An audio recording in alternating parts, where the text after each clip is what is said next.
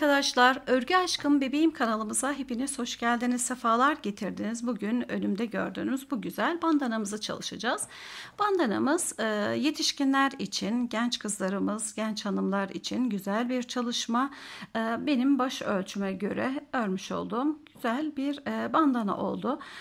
Özellikle bu soğuk günlerde şapka takmayı tercih etmeyen, kullanmayı sevmeyenler için kulaklarımızı koruma amaçlı böyle geniş bir çalışma yaptık. Umarım sizler de beğenir ve çalışırsınız. Bu bandanamızı her yaş için uygulayabiliriz. Elimde tuttuğum bu ölçü benim baş ölçüme uygun bir ölçü. Çok yumuşacık, çok güzel bir e, dokusu oldu. Daha küçük yaşlarda da baş ölçülerine uygun olarak başlayabilirsiniz. Santimlerimizi, zincirimizi az çekerek e, aynı şekilde yukarıya kadar örelim ve buradaki kalınlık istediğiniz kadar olabilir. Daha kalın isteyenler birkaç sıra daha devam ettirebilirler ya da daha dar da çalışabilirsiniz. Yani şurada da bitirebilirsiniz. Tamamen kendi zevkinize göre ayarlanabilecektir. Hemen bitmiş ölçüsüne bakalım. 11 santim eninde. Evet kolay gelsin diyerek hemen çalışmamızı yapmaya başlayalım. Kolay gelsin. Ören bayanın tanja ipini kullanıyorum. İpimiz 100 gram ve 120 metre. Bayağı kalınca bir ip, dolgunca. Ee, yalnız e, kalın fakat örünce sert olan iplerden değil. Güzel, yumuşak bir dokusu oluyor. Bu ipimizi örmek için ise şöyle göstermek istiyorum. 3,5 milimetre tığa ihtiyacımız var. Zincirimizi çekelim ve örmeye başlayalım. İlk önce düğümümü atıyorum. Hatta daha kalın uçlu tığları bile kaldırabilir. Sıkıştırdım, düğümümü attım ve rahat rahat 1, 2, 3, 4, 5, 6 uzunluğu için zincir çekmekteyiz şimdi. 7, 8, 9, 10, 11, 12, 13, 14, 15, 16, 17,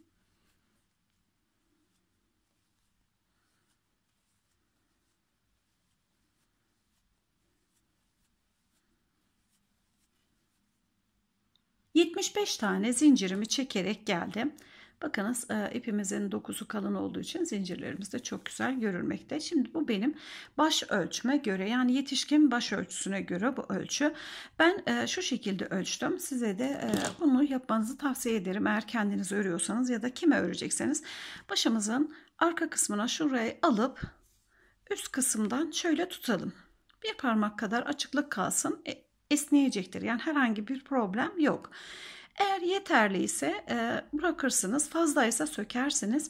Eğer eksikse biraz daha ilave edip kafamızın arkasına burası gelecek şekilde tam tepe noktasını alnımızın üzerine de burası gelecek şekilde zincirimizi tutarak ölçelim. Ama yine de ben şöyle ölçümü kendi başıma göre aldım. Mezurumun üstüne bırakıyorum ve ölçüde size yardımcı olmak daha net bir fikir verme adına bir yetişkin baş ölçüsünü ölçüyorum. Ensemizden alnımıza doğru. Şöyle görelim. Zincirimin ölçüsü. Tabi burada e, bu asılma payını da göze almamız gerekir. Ama şöyle tuttuğum zaman 56 santimi göstermekte. Tabi lütfen ölçerken de esnediğini unutmayalım. Evet şimdi zincirimizi tamamladıktan sonra örmeye başlayalım. İlave zincir yapmıyorum. Birinci zinciri atlayıp ikinci zincire başını doluyorum. Bakınız hemen biri atladım. İkinci zincire geliyorum. Batıyorum. Başını doladım tek seferde. Başını doluyorum. Sırası ile başı dolalı bir şekilde tek seferde örerek ilerliyorum.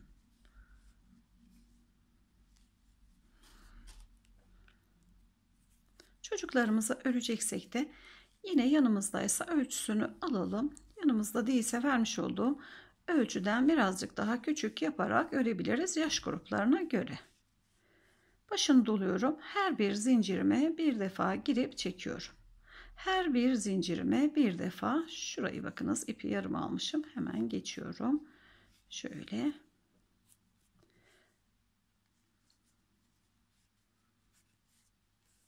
başını doluyorum.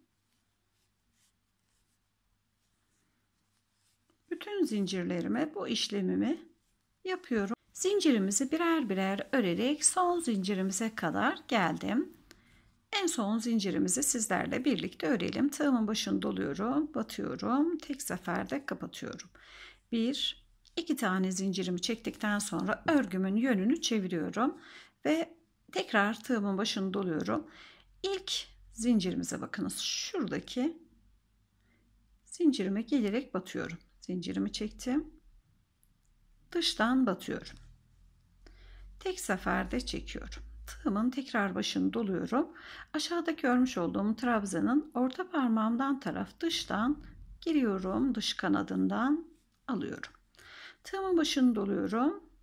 Saç örgüsü görüntümüzün dış kanadından çıkıyorum, kapatıyorum. Sırası ile bütün trabzanlarımızı dış kanadından örelim. Komple batmayalım. Eğer şu şekilde batarsak istediğimiz görüntüyü alamayız. Tek kanat alarak ilerleyelim. Şimdi ikinci sıramızı örmekteyiz.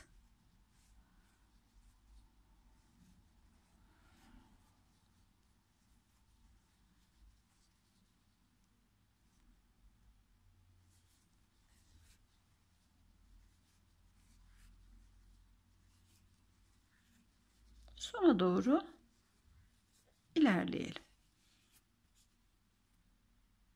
Sıra sonuna kadar örerek geldim.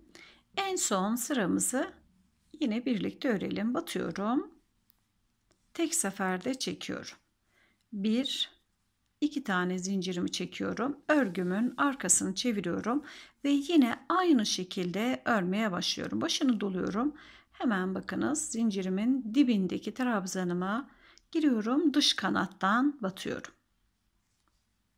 Tek seferde kapatıyorum. Başını doluyorum dış kanattan giriyorum alıyorum kapatıyorum. Üçüncü sıramızı örmekteyiz. Dış kanattan önden ve arkadan aynı şekilde çevirdiğimiz zaman dış kanattan alarak örelim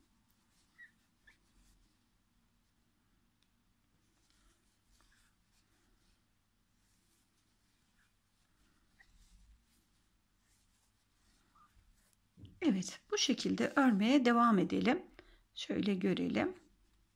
Yeterli kalınlık olana kadar aynı şekilde yani tuttuğumuz zaman dış kanattan çevirdiğimiz zaman alalım. Başını bir defa dolayıp tek seferde çekelim ve biraz kalınlaştıralım bandanamızı istediğimiz kalınlığa gelsin. Sonrasında yeniden görüşelim. Bir uçtan bir uca örerek geldim ve yeterli kalınlığımız oluştu. Şuradaki sıradan sayalım. 1, 2, 3, 4. 4 tane şu sıramızdan ördük. Bakınız. Saydığımız sıramız. Şimdi en son trabzanımızı ördüm. Bir defa başını çektim. Bir tane zincir çekiyorum ve buradan ipimi kesiyorum. İpimi kestim. Biraz uzun kestim. Ee, burayı dikmek için şu şekilde çekiyorum ipimi. Evet. Şimdi dikme işlemimize başlayalım. Burası düz yönü, diğeri ters yönü. Tabi istediğiniz yönü kullanabilirsiniz. Fark etmez. Ben burayı düz yön olarak kullanacağım. Şu kısmı ise ters yönü olarak kullanacağım. Şöyle e, biraz dikmek için ipimi uzun kopardım. Hemen iğneme takmak istiyorum ipimi. İpimi geçirdim. Her iki kenarını ortalayarak şu şekilde tutuyorum. Diğerini de aynı şekilde tutuyorum. Ve şöyle birbirlerine geçiriyorum. İç içe geçiriyorum. Düzenliyorum. Şöyle biraz bir parmak kadar kalsın.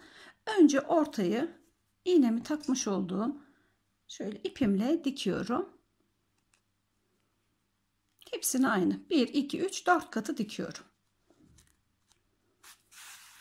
Güzel bir şekilde 4 katın tamamını kavrayacak şekilde dikelim.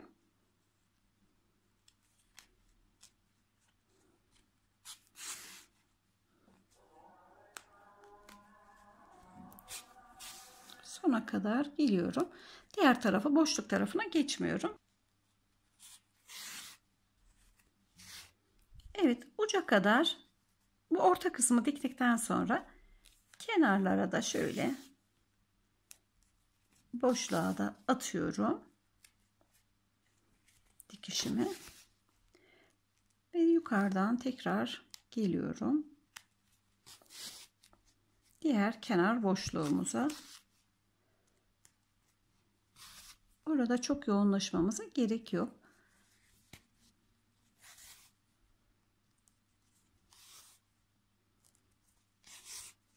Evet bu şekilde dikişimizi bitiriyoruz. Düğümümüzü atalım. Tabii en güzel diktiğimiz şekliyle dikelim. İpimi kestim. Düğümümü attıktan sonra şöyle içeriye gizleyelim. İpimiz bu şekilde uzun kalmasın. Ve sizlerle birlikte çevirelim.